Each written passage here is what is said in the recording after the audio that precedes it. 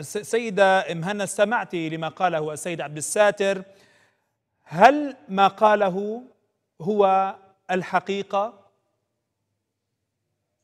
آه، مساء الخير أستاذ حازم لك ولضيوفك. آه، طبعا آه، مش مش قصة حقيقة ولكن كل لكل طرف لكل وجهة لكل يعني لكل مجموعة خلينا نقول في عندها وجهة نظر بالحرب اللي دايرة بغزة.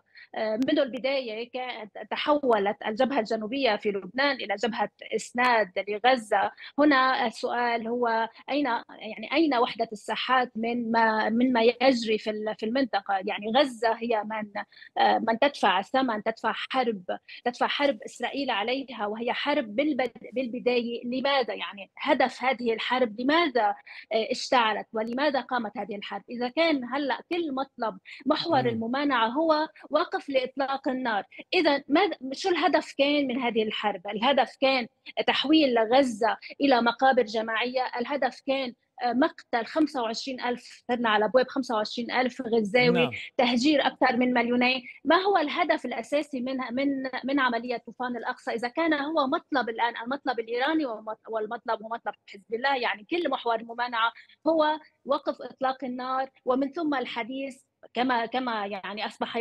متداول يعني والأمين العام تبع أمين عام حزب الله السيد حسن نصر الله قال إننا أمام فرصة تاريخية. وأيضا السفير الإيراني في سوريا قال آه، أن هناك رسالة وصلت لهم عبر نعم.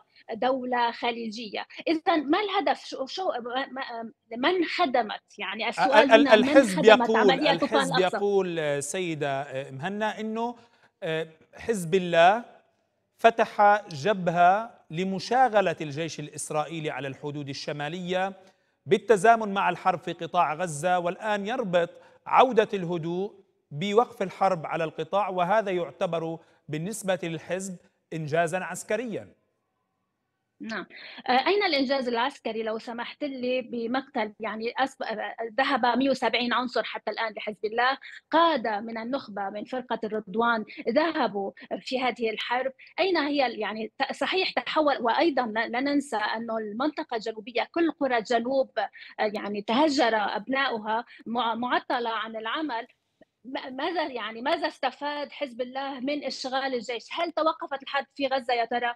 هل توقف القتل في غزة؟ ماذا يعني بماذا شغل؟ لا. بالعكس يعني فتحت إسرائيل جبهة شمالية وجبهة على حدودها الجنوبية، يعني لم يعني لا طائل من من إلا تحويل البلد إلا تحويل البلد واستباحة البلد للطيران الحربي الإسرائيلي وقتل الأبرياء وتوقف أعمالهم عدا إذا أضفناها إلى كل الأزمات البلد الاقتصادية وغيرها.